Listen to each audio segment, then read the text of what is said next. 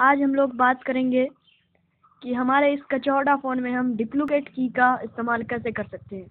तो पहले हमें चले जाना है अपने मेन्यू पर और फिर हमें स्क्रॉल करता हुआ इधर आना है। और सेटिंग में जाने के बाद हमें फ़ोन बुक में जाना है और फ़ोन सेटिंग में आ जाना है। फ़ोन सेटिंग में आने के बाद ओके पर क्लिक कर देना है। ओके प्रेस करने के बाद जब आप नीचे आएँगे, तब आपको डिप्लूकेट की का इस्तेमाल लिखा हुआ मिलेगा। तो फ्रेंड्स आपको इस पर क्लिक कर देना है। जैसे हम अप में रखना चाहते हैं, कुछ अलग करना चाहते हैं तो हम एडिट पर क्लिक कर देंगे। मान लेते हैं हम अप पर रखना चाहते हैं, जैसे हो गया कैलेंडर तो कैलेंडर पर हम क्लिक कर देंगे।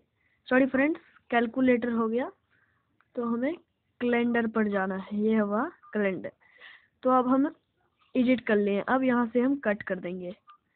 और फिर ऊपर क्लिक करेंगे तो देखिए हमारा कैलेंडर खुल गया है। तो फ्रेंड्स आज हम लोग बात किए कि हम लोग कैसे आखिर इस अपने कचौड़ा फ़ोन में जो है डिप्लूकेट की का इस्तेमाल कर सकते हैं। पहला वीडियो में मैं आप लोगों को बताया था कि अपने कचौड़ा फ़ोन में स्पीड डीएल कैसे कर सकते हैं। और इस वीडियो में आप लोगों को बताया कि डिप्लूकेट की का इस्तेमाल कैसे कर सकते हैं। इसकी मदद से हम आसानी से किसी भी ऐप को खोज सकते हैं। जैसे ये हो गया हमारा कैलेंडर हमने नीचे सेव करके रखा है एडियो प्लेयर जिसको कनेक्ट करके चलाते हैं। तो फ्रेंड्स आज का वीडियो आशा करता हूँ कि आप लोगों को पसंद आया होगा। लाइक कीजिए शेयर कीजिए सब्सक्राइब कीजिए। थैंक्स